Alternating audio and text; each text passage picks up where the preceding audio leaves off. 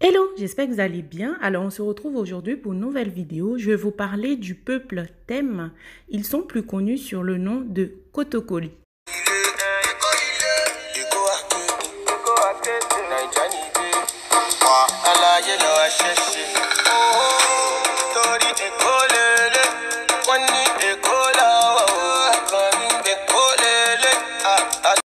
Les Thèmes sont une population de l'Afrique de l'Ouest, vivant principalement au centre du Togo, au nord du Bénin, au Ghana et au Burkina Faso.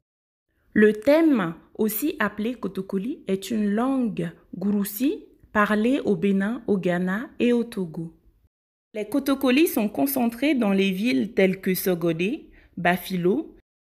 On retrouve également les Kotokolis au nord du Bénin dans des villages tels que Akaradé, Aledjo et plein d'autres villages.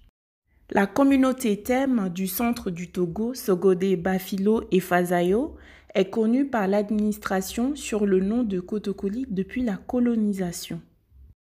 Niveau croyance, les Kotokoli ont d'abord été exposés à la religion islamique lors de contacts avec les Haoussa et les Fulani dans les années 1700.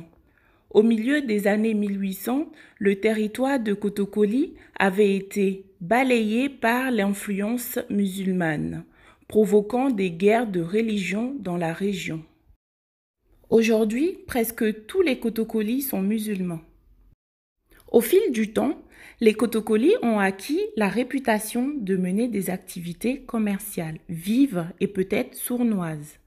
Les marchands locaux se sont énervés et ont commencé à les appeler Kotokolins, ce qui signifie ils donnent et reprennent. Au sein de la communauté, certains préfèrent le nom Kotokoli, depuis que, avec les progrès de l'islamisation, Thème a fini par prendre le sens péjoratif d'infidèle à l'islam. Les Kotokolis sont plus connus sous le nom de Thème ou Temba, car ils parlent le Thème, une langue nigéro-congolaise.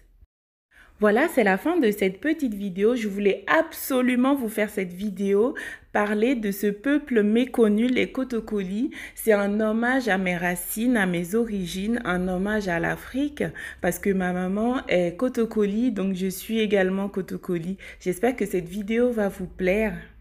Je vous dis à très bientôt pour une nouvelle vidéo. N'hésitez pas à liker, commenter, partager, à vous abonner si ce n'est pas encore fait. À très bientôt!